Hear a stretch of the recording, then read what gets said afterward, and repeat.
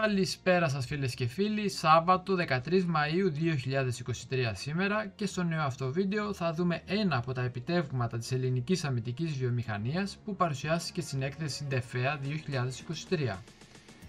Στο πλαίσιο της διεθνούς έκθεσης DEFEA 2023 είδαμε το πρώτο ελληνικής κατασκευής οπλισμένο μη επανδρομένο σκάφος επιφανείας USV από την Παρακούντα. Η Μπαρακούντα ιδρύθηκε το 1992, στεγάζεται σε ιδιόκτητες εγκαταστάσεις Ταύρου της Αττικής και μετά την ολοκλήρωση της επέκτασής της τον Φεβρουάριο του 2001 και τις ανακαινήσεις που έλαβαν χώρα το 2009, διαθέτει μια καθετοποιημένη παραγωγή. Το συγκεκριμένο μη επανδρομένο σκάφος επιφανείας είναι αποτέλεσμα συνεργασίας 10 ελληνικών εταιριών που δραστηριοποιούνται στον τομέα της άμυνας. Η πλατφόρμα θα αποτελεί μια νέα κατασκευή της Barracuda που θα φέρει βαρύ οπλισμό 12,7 χιλιοσών σε τηλεχειριζόμενο πύργο στην πλώρη και δύο τετραπλούς εκτοξευτές κατευθυνόμενων ολοκετών στην πρίμνη με καταδείκτη λέιζερ.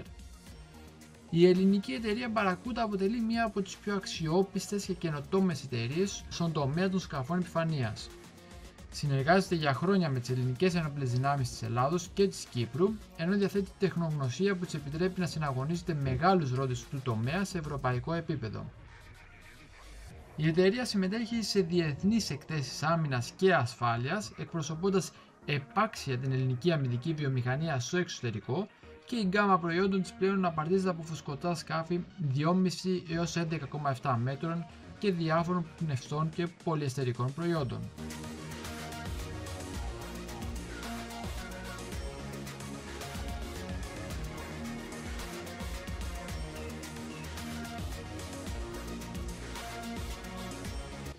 Αν φυσικά ενδιαφέρεστε για θέματα γεωπολιτικής, επικαιρότητας και τεχνολογίας από καταξιωμένους καθηγητές και επιστήμονες, μην ξεχάσετε να επισκεφτείτε το κανάλι μου, να ρίξετε μια ματιά στο περιεχόμενο που ανεβάζω και αν σας αρέσει να κάνετε εγγραφή και να με βοηθήσετε με τη συμμετοχή σας.